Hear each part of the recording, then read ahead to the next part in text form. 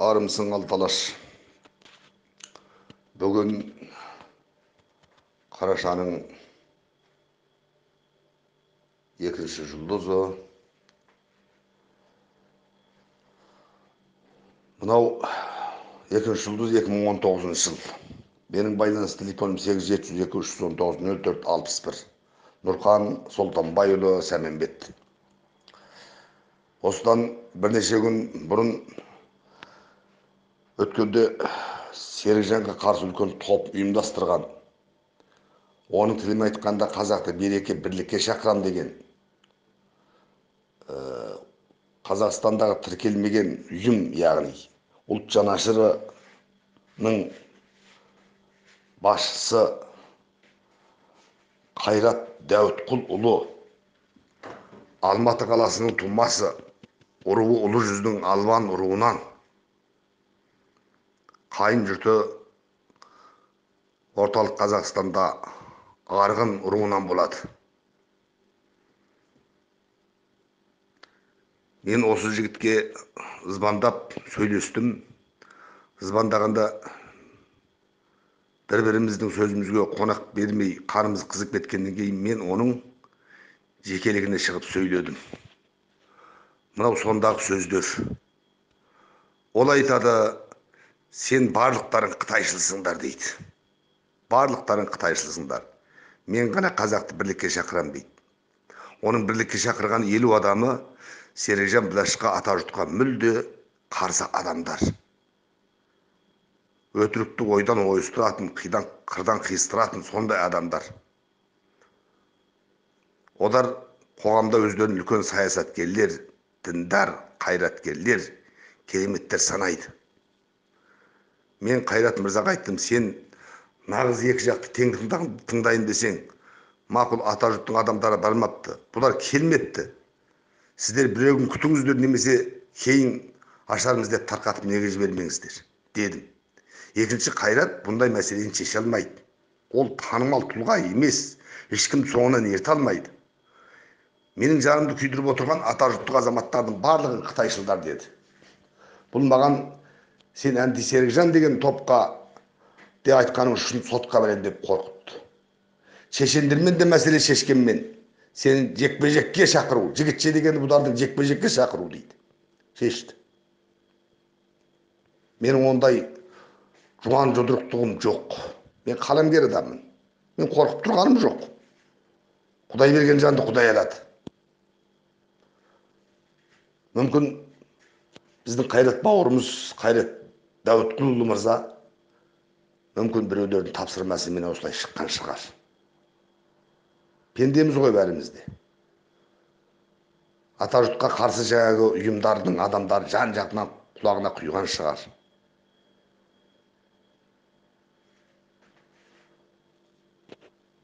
содан кейін адам тіліне аспандағы бұлт азады дейді адам тіліндегі бәленбай аспандағы қол жетпейтін бұлт азғанда жердің бетінде қайрат қайда барады? Ішкі сыртқы тапсырыстар қытайдың ә, жұмсақ күші және басқа да қазақстандағы ат төбеліндей қытайшыл ұйымдардың үкіметтің ішінен шыққан тапсырмасы бар шығар. Бұлардың мақсаты серікжанды ата жұрт ұйымының көтерген үнін өшіру. Көтерген мәселесін жер соқтыру халықтың алдында жаманатты қылу. Қайрат ол кім? Егер әкімшілік жолмен айтсақ ол президент пе премьер министр ме облыс әкімі ме прокурор ма сот па ішкі істер министрі ме? Қазақтың сөзімен айтсақ үлкен дуал ауызды шешен бе топ бастайтын көсем бе? Қайрат дәуітәліұлы дегенді қай қазақ біледі ешкім білмейді біледі өзінің ауылдастары бауырластары маңайында жүргендер білетін шығар мен сөзімнің басында айттым қасен қожахметов сияқты тәуелсіздіктің жолында қылышынан қан тамып тұрған қызыл империяға қарсы шауып қазақ елінің тәуелсіздік жолында соғысып орыстармен орыс орыс шаманистеріменен жиырма жасында сотталып қазақтың жанында арып таласқан бүгінгі күнде сотталғанның өзіне елу жыл болған. Міне бұндай тұлғалар айтса оған халық ілеседі. Алтынбек сәрсенбайдың ағасы белгілі саясаткер ырысбек сәрсенбай. Жазушы үлкен демократ смағұл елубай дулат исабек қабдеш жұмәділ қапас қапышұлы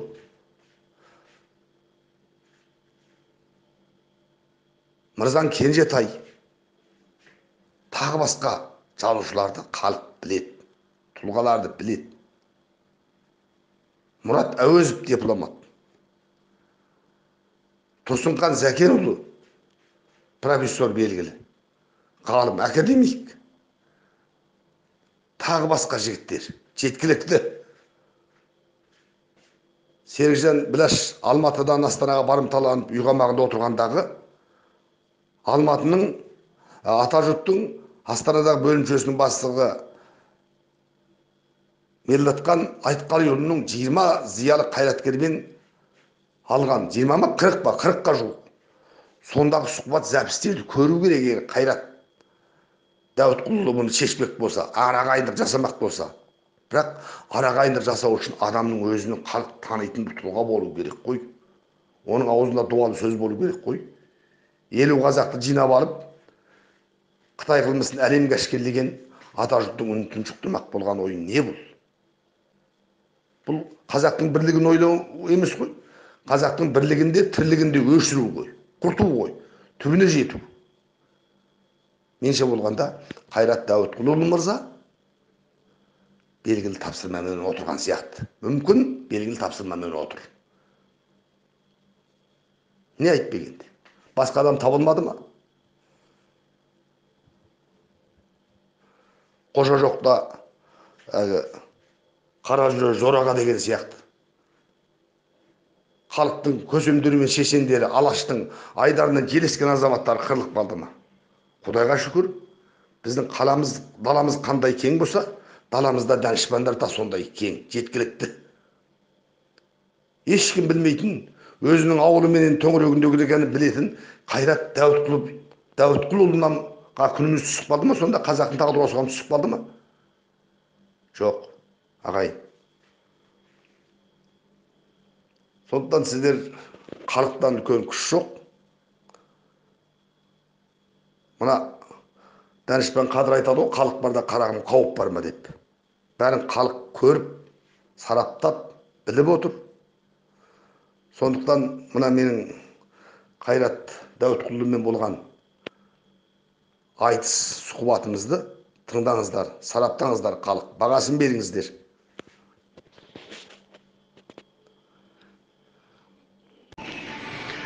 Нұрхан аға біріншіден анти серікжан деген сөзіңіз үшін сондай топ құрды деген сөзіңіз үшін мен сізді сотқа беремін керек болса. Керек болса жігітше сөйлесемін кездесетін жеріңізді айтыңыз мен келемін талай жігіттермен бетпе бет сөйлесіп жүрген азаматпын мен. Қазақтар емес шешенің болсын басқасын болсын. Жігітше сөйлесем керек болса. Маған олай жала жаппаңыз. Мен қазақты бірлікке шақырған адаммын. Сіздің серік жаныңыз мықты азамат адал азамат болса неге сол жерге келмеді? Мықты болса өзінің сөзіне ісіне адал адам болса сол жерге келіп соны дәлелдеу керек еді айту керек еді. Мен бәрін шақырғам. Ана бір жақты ғана шақырғам жоқ. Екі жақты да тыңдаймын деген бірақ аналар келді. Знай ол, дегеніміз олар шындықтан қашқан жоқ қорықпай келді. Ал серікжан келген жоқ. Неге келмеді? Мен осы сұрақты сізге тікелей қоямын серікжанға да қоямын керек па? Сізбен де серікжанмен де мен кездесемін кездесейік сөйлесейік. Азаматша. Сондықтан сіз маған жала жаппаңыз. Менің бар ойым қазақты бірлікке шақыру. Ал егер серікжан сіз айтқандай сондай керемет мықты азамат болса мына қазақты бірлікке шақыратын еді. Өзінің артынан ерген азаматтарды бірлікке шақыратын еді. Ең бірінші басты мақсат қазіргі біздің қоғамдағы үлкен ең үлкен басты проблема қазақтың арасындағы алауыздық. Маған ол керек емес. Егер ол ұлтын мемлекетін ойлаған азамат болса қазақты бірлікке шақырып өзінің артынан ерген адамдарды тоқтатып соларға бірлік айтар еді. Ол оны айтқан жоқ. Және де қазақтың қасиетті құдіретті қаншама біздің ата бабаларымыз қанын төгіп жеткізген көк туын дамбалға теңеді көк дамбалға. Мен шынымды айтамын мен соның қасында сол жерде отырсам мен жағын айыратын едім оның. Ол сөзді мен көтере алмаймын. Бірақ мен соның бәрін кешіріп сол азаматтардың бәрін бірлікке шақырып сондай дөңгелек стол ұйымдастырып сол жерге серікжанды да шақырғам. Келген жоқсыздар. Менің түйіндегенім шындықтан қорыққан адам ғана ондай жерге келмейді деп ойладым. Шындықтан қорықпаған адамдар келді. Сондықтан бұл әңгімелеріңіздің бәрін серікжанға жеткізіңіз. Артыңыздағы барлық азаматқа жеткізіңіз. Мен дәуітқұл тегі қайрат ұлт жанашырлар ұйымы біздің бар мақсатымыз елді ауыз біздің басқа мақсатымыз жоқ. Менің үстімнен анти серікжан деген жала жауапқаныңызды тоқтатпасаңыз мен сізді не сотқа берем не жігітше кездесіп сөйлесем. Екеуіне де дайын болыңыз. Болмаса тоқтатты тоқтатыңыз бұл сөзді. Біз қазақ елін бірлікке шақырамыз. Қазақ елін ауызбіршілікке мына ел арасындағы ырду дырдуды тоқтату менің мақсатым. Сіз маған түсіндіріңізші қытайшыл деген кім ол? Кім ол қытайшыл деген? Мына халықтың арасына осындай алауыздық туғызып бірімен бірін қырылыстырып қойған ол қазақшылық па не? Сонда өстіп қазақтардың бір бірімен қырылысып жатқаны керек па сіздерге? Мақсаттарыңыз сол ма? Мен түсінбедім сіздерді. Маған осыны ашық айтыңыз. Және де маған жала жауды тоқтатыңыз. Болмаса мен сіздермен кездесіп жеке жігітше сөйлесуге дайынмын. Маған сырттан қазақтардың бәрі бірдей. Егер ол ұлтым елім жерім ұлтымның бірлігі елімнің мемлекетімнің амандығы керек деп келсе кез келген қазақты мен құрметтеуге қабылдауға дайынмын. Ал енді дүрлік салып дырду ұрду жасап бірмен бір менің ашық айту осы. Нағыз нағыз ұлтын ойлаған азамат басқа қазақтарына өзінің басқа бауырларына тіл тигізбеу керек. Ең басты мақсат тіл тигізбеу керек. Құрметтеу керек бірін бірі сол кезде ғана бәрі дұрыс болады. Бар мақсатымыз біздің ауызбіршілік. Қазақтың ауызбіршілігіне зиянын тигізген адамның кез келгеніне мен қарсымын. Нұрхан аға егер сіз айтқаныңыз бәрі ақиқат бәрі шындық бәрі ақ болатын болса сол кездесуге неге келмедіңіз? Неге сол жерде тұрып айтпадыңыз осының бәрін? Беттеріне.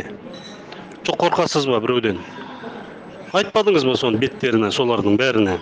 Мен сондай мүмкіншілік бердім бәріне сөз бердім сол жерде. Ана бақытжан көкеміз де келді сөз бердік оған да сөйлеттік. Ешкімнің аузын жапқан жоқпыз. Неге келіп сөйлемедіңіз? Егер сондай ақ таза адал болсаңыз. Келіңіз тағы да сондай дөңгелек стол жасайық келіңіз айтыңыз. Беттерін айтыңыз сырттан айғайламай.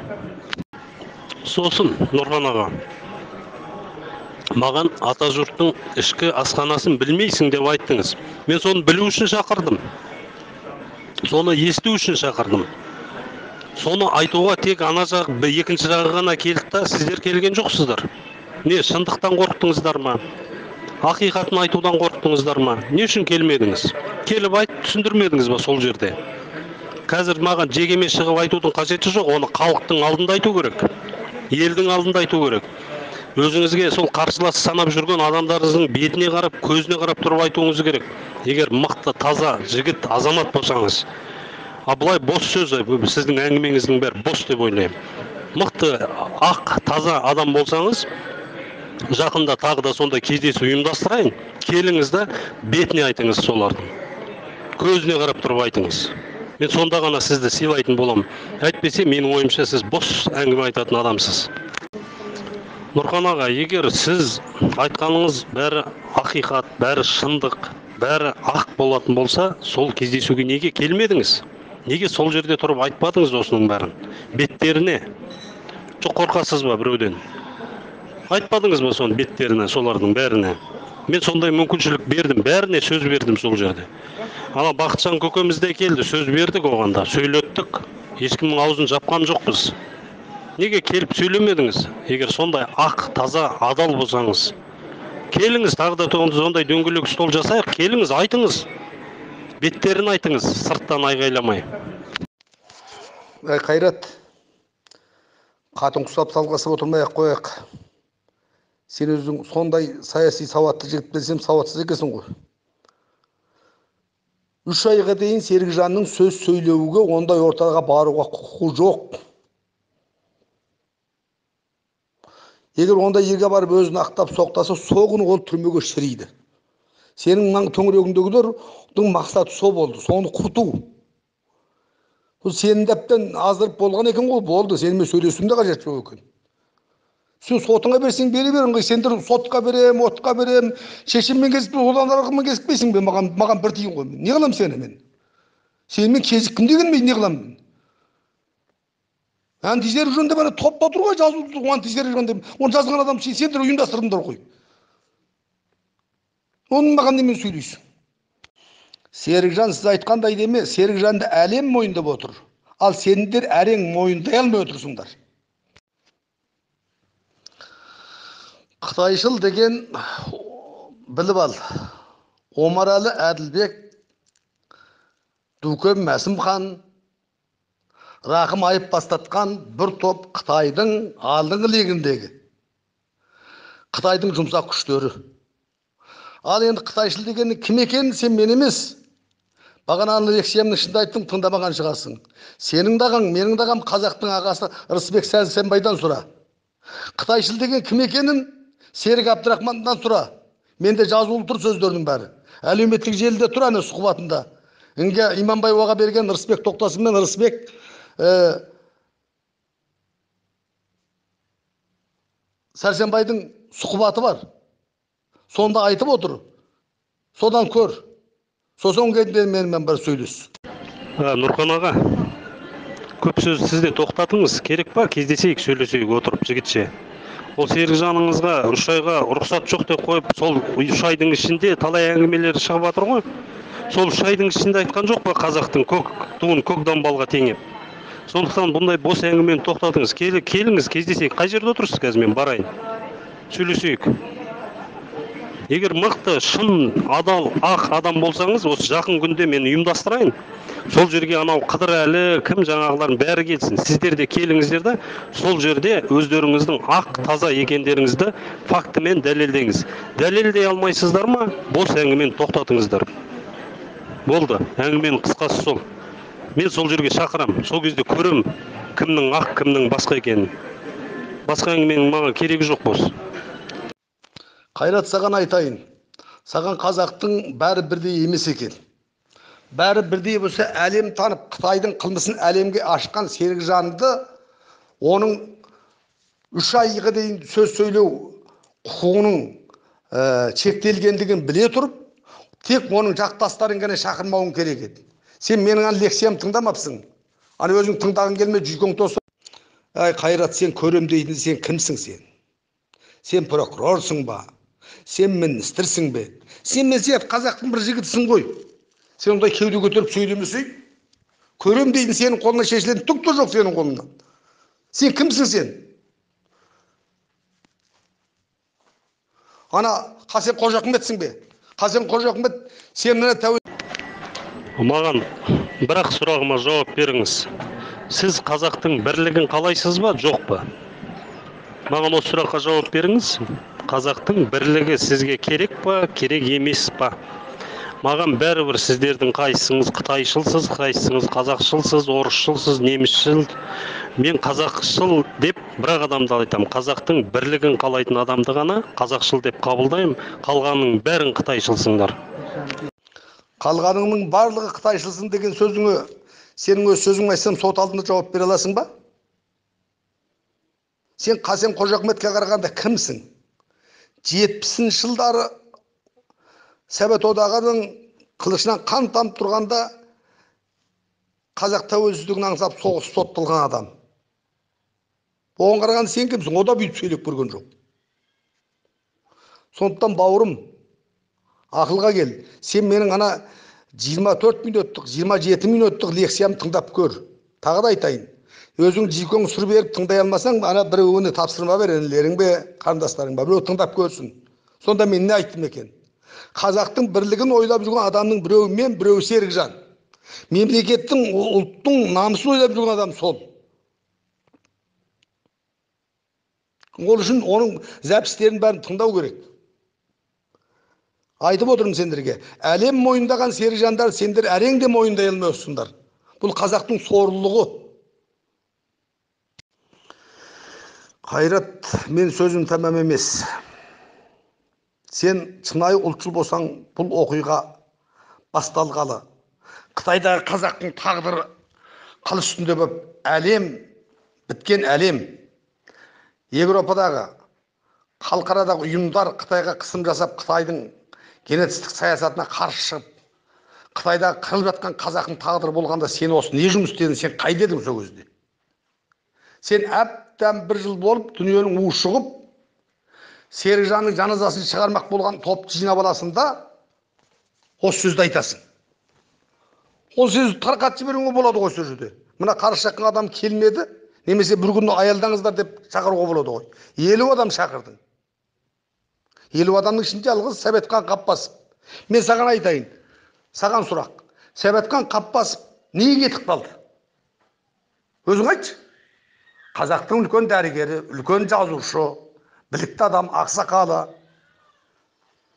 сыртқы істер министрлігімен де байланысы бар дипломатияның адамы сол кісі неге кетіп қалды ал сендердің жиналыстарың сондай керемет болса мына серікжанды жамандаған жиналысқа қатыспаймын деп кетіп қалды дейді ондай нәрсені сен шеше алмайсың сенің оған қабілетің де жетпейді ұйымдастыру жағың да жетпейді оны қасен қожахмет ырысбек сәрсенбаевтар істеуі мүмкін ағаларымыз. Ол кісілер айтса оған біз барамыз. Сенің алдағы ұйымдастырған дүниеңе де нұрхан көке осы айтатындарыңызды маған айтпаңыз. Сол ырысбекке анау кім еді анау? Қыдырәліге солардың бетіне айтыңыз көзіне. Мен соны айтып тұрмын ғой. Нағыз жігіт нағыз таза адам болсаңыз мен солармен тағы да кездесу өткізейін келіңіз да беттеріне айтыңыз. Сіздерді жамандап сіздерді даттап жатқан мен емеспін ғой. Мен керісінше сіздерді бірлікке шақырған адаммын. Маған қайта қайта неменеге жібере бересіз мұны тоқтатыңыз. Қайда отырсыз қазір? Мен келейін. Алматыдасыз ба? Кездесейік қазір. Бетпе бет? Болмаса мынаны тоқтатыңыз. Мен тек қазақты бірлікке шақырған адаммын. Бұдан қарай маған мұндай бәлелеріңіз жібермеңіз.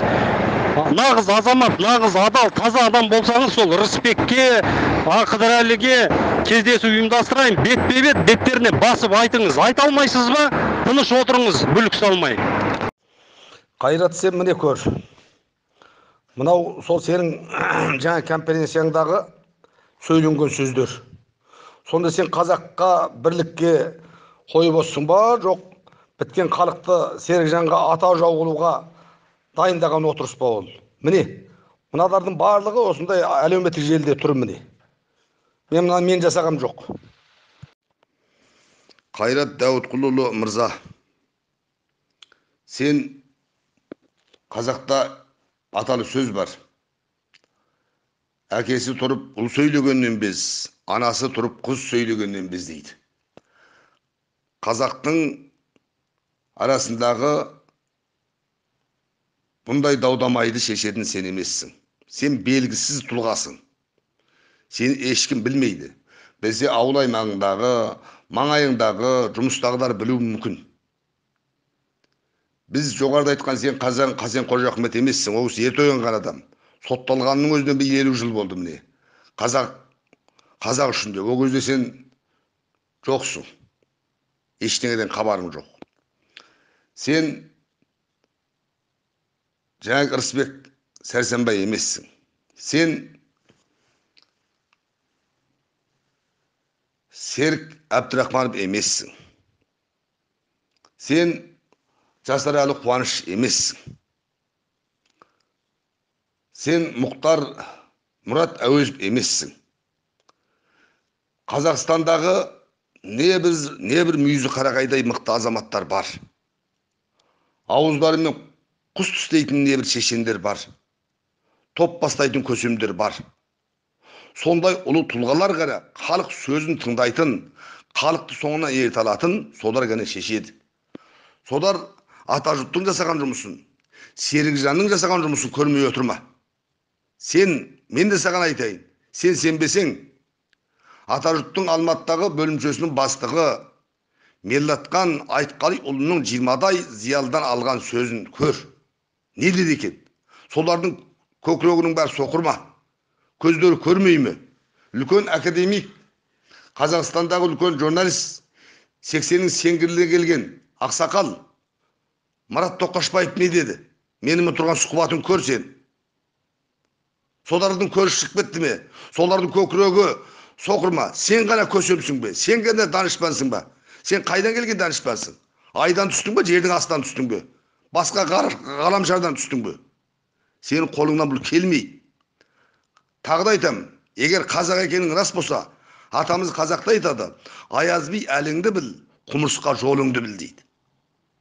Алуан алуан жүйрік бар әліне қарай жүгіреді дейді. Сен жүз метрлік етпе ғанасың етпе қолыңнан ештеңе келмейді. Мүмкін сенің ар жағыңда бір күштер осылай айтқызып отырған шығар. Мүмкін бір үлкен тапсырыстар бар шығар. Өйткені сенің айналаңдағы жинап алған елу адамыңның кім екені мына халық айнасында көрініп тұр халықтың көзі көкірек көзі айна бұны шешетін халық халық біліп отыр егер ата жұрттың істеген жұмысы серікжанның көтерген мәселесі қате болса мына халық баяғыда көшеге шығып мына серікжаннан келген серікжан деген бәлені құртыңдар деп бір ақ күнде көшеге шыға салады ол қиын емес халық осы күнге жылап еңіреп отыр халыққа серікжан үлкен рухани күш берді жоғалған намысын қолына әкеп берді ұжданын әкелді кешегі бабалардың ұрқын алып келді бұдан артық не керек мен сөзімнің бас жағында айттым сен шынайы патриот ұлтшыл жігіт болсаң серікжан біләшпенен мақұл ол қазір уақыты шектелген уақыты аяқтап қалды құдай бұйырса серікжан өзінің миссиясын өзінің міндетін атқарып болды. Қазіргі ата жұрттың басшысы болған отырған мақсұтханұлы бекзатпен сен сәйкесіп ата жұрттың азаматтарымен сәйкесіп ана қытайдағы қырғынды тоқтат. Елді алдыға баста біз сені көсем санайық мықты болсаң. Ал сен қайдағы адамдардың мүмкін біреулердің тапсырмасын орындап отырсың сен. Бұл мәселені шешеді сен емессің сенің ондай үлкен тұлғалылығың үлкен көсемдігің үлкен кереметтігің жоқ сені ешкім танымайды қайрат деген кім қайрат көп қой сен ана қай, бізден бөлініп шығып кеткен тапсырмамен жүрген нағыз ә, тіркелген ата жұртты құрып алған қайрат байтолладан еш деңгейің сенің одан биік емес сен ұзаса төбелескіш болуың мүмкін қазан бұзар үй тентек болуың мүмкін ол сөзімнің себебі сен бағана мен қайда қайда жігітше шақырамын мен шешендерді деп өйткем бәлденбайды да сөйткем сен мықты болсаң ана қытайға шықпайсың ба әлем әлем соғыс ашып жатқан америка құрама штаты сауда соғысын жасаған әлемнің ақпаратында шулап соған қысымы тоқтат деп бүгінгі күнде әлемнің көзі алақандай болып отырған қытай мәселесінде сен қытайға шық мықты болсаң сен өзің бауырларың оқ атқанды қой сен мені қорқытасың сен мені қорқытпай ақ қой сотқа бересің ботқа бересің бе мақұл? Мен сен емес миллиард қытаймен соғысқан адаммын. Анамның сүтіменен әкемнің қаныменен ұлтшыл болып туған адаммын аллаға шүкір мен. Міне осы жерде жүріп қытайшыл болмағаныма қытайшылардың тобында болмағаныма дәл сен бастаған ана елу адамның тобында болмағаным үшін бақыттымын мен? Әлхамдулилля деп айтайын мұсылманмын. Сен сөз сөйлегенде ойланып ал. Халықтан үлкен ешкім жоқ. Халық алла тағаланың тоқсан тоғыз есімінің біреуі. Егер ата жұрттың бастаған жұмысы серікжанның жұмысы қате болғанда халық баяғыда біздің үнімізді өшіріп тастайтын еді. Халық кімді жақтап отыр? Сенің шақырған елу адамы жақтап отыр ма? Не дейді ол туралы? Тапсырмамен жүрген адам болсаң оныңды айт. Мен тапсырмамен жүрмін де. Мүмкін сен тапсырманың адамысың.